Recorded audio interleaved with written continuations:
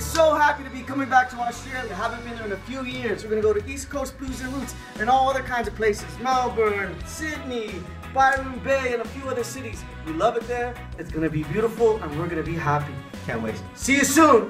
Aussie, Aussie, Aussie!